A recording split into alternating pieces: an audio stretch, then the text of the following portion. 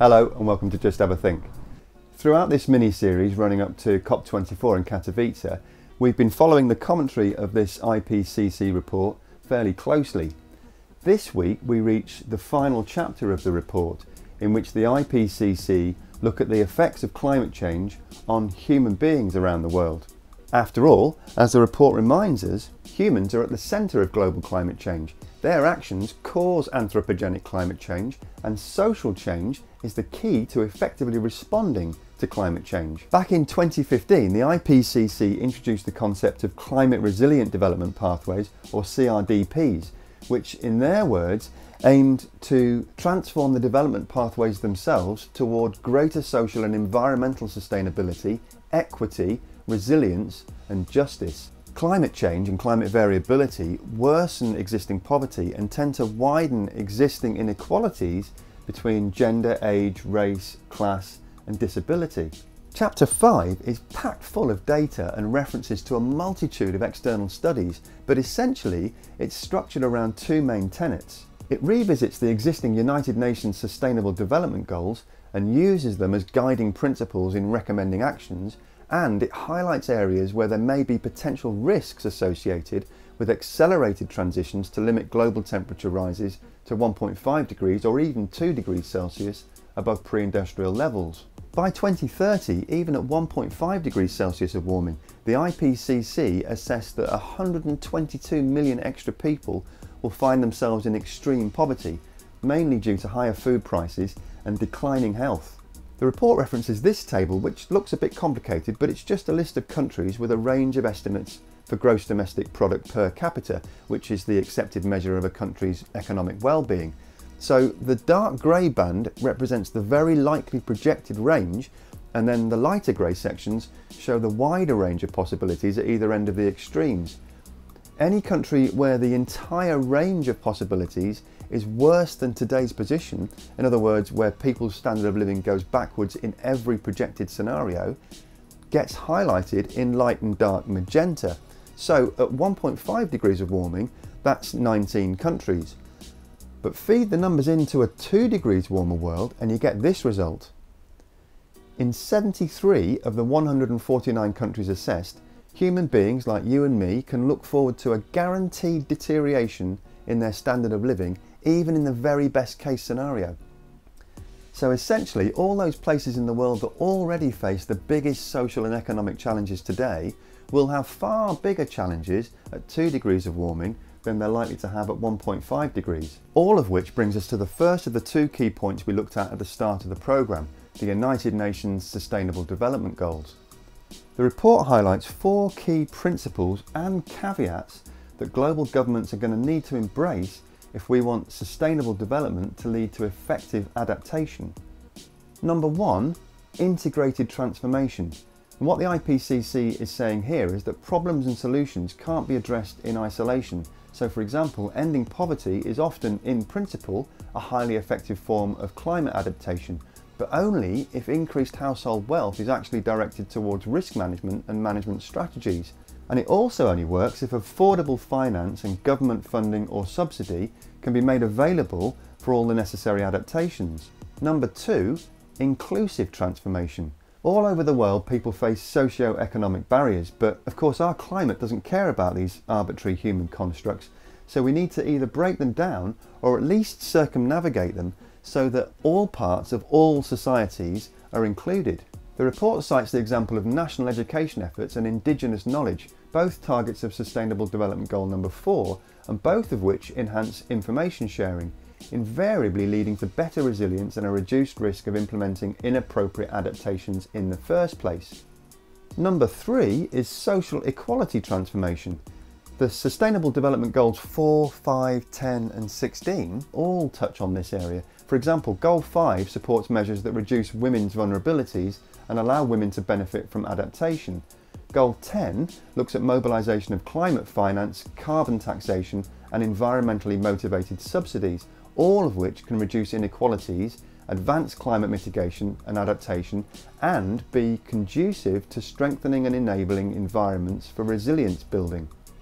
And number four is security transformation.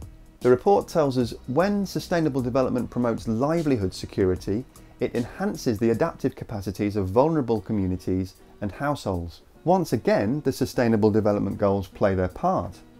Goal 11 is all about adaptation within cities to reduce harm from disasters, with Goal 6 specifically addressing access to water and sanitation, and Goal 16 calling for strong institutions to actually get these things done in urban environments and elsewhere. Goal 2 contains targets that promote adaptation in agricultural and food systems, and Goal 3 strives to reduce infectious diseases and provide health cover to improve health related adaptation.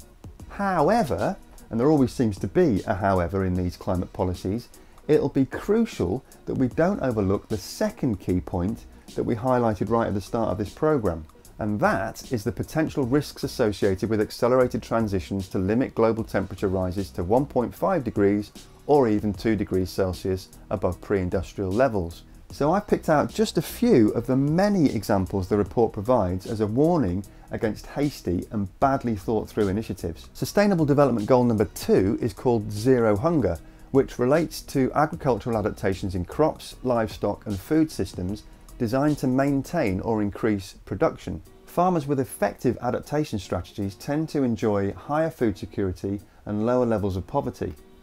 Well adapted agricultural systems contribute to safe drinking water, better health, biodiversity and social equity and climate smart agriculture helps with food security. All of which is very good but adaptations may be advantageous to those who can afford technological solutions, and they could actually increase risk for human health, oceans, and access to water if fertiliser and pesticides are used without regulation or when irrigation reduces water availability. Changing the crop mix can remove foods that local people rely on, and land and water diversion can take away the incomes of poorer farmers.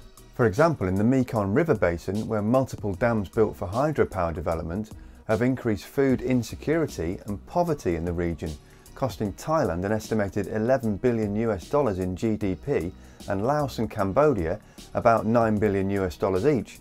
And even where, on the face of it, a good economic result is being achieved, like in the Bolivian Altiplano where subsistence farmers have been transformed into world-leading quinoa producers their success was followed by a loss of social cohesion and traditional values, compounded by dispossession of land and property and the loss of the existing ecosystem. A stark reminder of the need for a holistic approach. The same kind of holistic thinking will be needed in our urban environments. Loads of great initiatives are already happening, like heat early warning systems that help reduce injuries, illnesses and deaths, a target of Sustainable Development Goal number three, Good information, improved detection of climate sensitive diseases and improved provision of basic healthcare services are all positive steps. The creation of urban wetlands as flood control measures is in many regions a smarter move than trying to build concrete and steel flood barriers at city boundaries. But in hotter countries, these very wetlands can breed mosquitoes and could force people to move away from their homes, something that causes physical and mental upheaval which is exactly what goal number three is trying to avoid. Air conditioning is a very effective way to combat heat stress. The number of units is expected to triple by 2050, but the more we install, the higher the energy consumption, and energy consumption is something that goal number 13 is trying to reduce. And then there's the age-old problem of overcoming entrenched practices and procedures, often sponsored and supported by councils and governments who are reluctant to change. According to the report, this kind of intransigence can constrain adaptation futures by reinforcing dominant political economic structures and processes and narrowing option spaces. This leads to maladaptive pathways that preclude alternative, locally relevant and sustainable development initiatives and increase vulnerabilities. Such dominant pathways tend to validate the practices, visions and values of existing governance regimes and powerful members of a community while devaluing those of less privileged stakeholders. Even here in London, the established mainstream thinking promotes adaptation resilience based on self-reliance, which tends to increase the burden on low-income citizens, the elderly, migrants and others who generally can't afford things like flood insurance or expensive kit to protect themselves against heat waves. Electrification of our urban transport systems is undoubtedly a great step forward but it may trigger an increase in electricity prices, which once again will impact on the poorer people in our society unless some form of subsidy can be put in place. Forward thinking governments can and will do this though, as part of laying out the foundations for compact, connected, low carbon, sustainable cities, which is basically Goal 11. And if people can be persuaded to actually increase their physical activity with less reliance on cars for short journeys and greater use of public transport, then we're helping with goals 3, 11 and 12 and most likely improving fair access for everyone to basic facilities, which is part of goal 10. But we need to design the infrastructure and the regulations to improve personal safety and security and reduce the number of road accidents involving this greater number of pedestrians. And then there's Brazil, where the Amazon rainforest lives. Oh dear. At the time of publishing their report, only a few weeks ago, the IPCC were able to include this quote. Brazil promotes low per capita greenhouse gas emissions, clean energy sources, green jobs, renewables and sustainable transportation while slowing rates of deforestation. Yet concerns remain regarding persistent inequalities, ecosystem monetisation, lack of participation in green style projects and labour conditions and risk of displacement in the sugarcane ethanol sector.